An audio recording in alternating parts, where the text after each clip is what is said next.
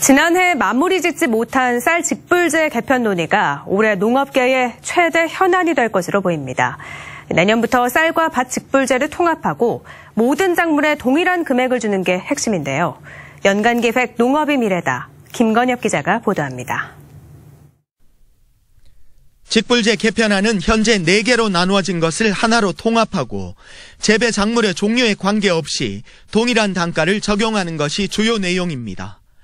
쌀농가에 대한 소득 보전이 벼농사 유인책으로 작용해 과잉 생산과 재고 증가, 쌀값 하락의 악순환을 낳았다는 분석에 따른 조치입니다.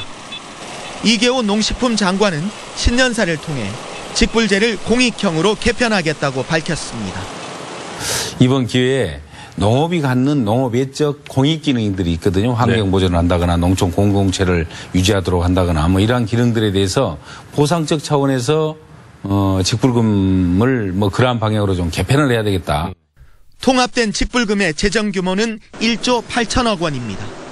농업계는 쌀값 안정 대책을 먼저 내놓고 직불제 예산도 대폭 확대해야 한다는 입장입니다. 통합을 추진하는 4개 직불제의 최근 3년간 평균 지급액이 1조 9천억입니다. 직불 예산을 크게 늘리고 쌀값 안정 대책을 먼저 내놓아야 한다는 의견들이 많습니다. 직불제 개편의 가장 부정적인 쌀 전업농 중앙연합회는 직불제 예산 3조 2천억 원 이상을 요구하고 있습니다. 전국 농민회는 정책의 기본 방향을 세우는 첫 단계부터 농민들의 참여가 보장돼야 한다는 입장입니다. 올 상반기까지 시행 계획을 만들고 내년부터 본격 시행한다는 게 정부 계획인데 예정대로 진척될 수 있을지 주목됩니다. MBC 뉴스 김건엽입니다.